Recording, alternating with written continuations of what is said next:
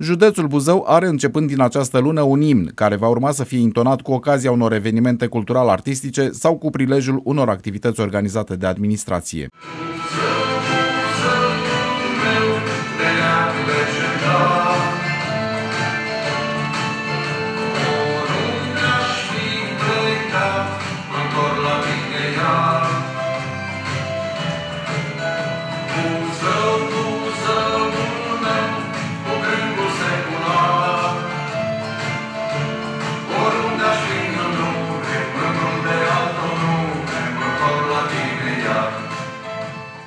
Versurile și muzica imnului au fost compuse de către primarul Comunei Boldu, Marian Mărgărit și consilierul județean Georgian Mărgărit, fiul acestuia. Și ne-am gândit noi,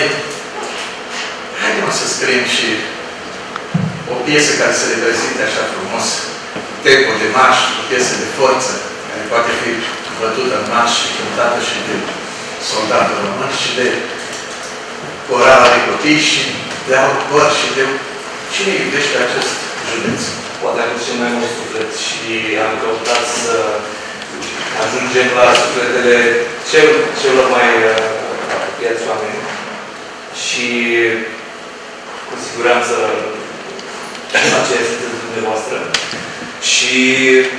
ne-am bucurat că putem să comprimăm uh, identitatea locală și elemente identitare, identitare ale Buzăului în uh, acest timp și în această piesă care să ne aducă aminte de lucrările de valorile noastre uh, locale și în această perioadă cred că este foarte mult bine. Imnul va fi utilizat cu ocazia anumitor festivități, a anunțat administrația locală. Imnul folosim conform legislației așa cum uh, suntem mândri că avem imnul uh, României cu ocazia anumitor festivități, sunt lucruri reglementate, putem, dacă uh, doresc, și consilierii, deci dau votul înainte de ședințele de Consiliu, la anumite evenimente și așa mai departe. Uh, deci la tot felul de evenimente care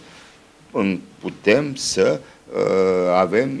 dacă e să spunem așa, cam este, dacă vreți, o modă ca fiecare comunitate să-și aibă steag, im și așa mai departe. Practic e un semn de, de recunoaștere a istoriei, tradiției, a continuității și, a, și al specificației fiecărei localități în, în Imnul județului Buzău a fost aprobat prin vot în cadrul Consiliului Județean Buzău.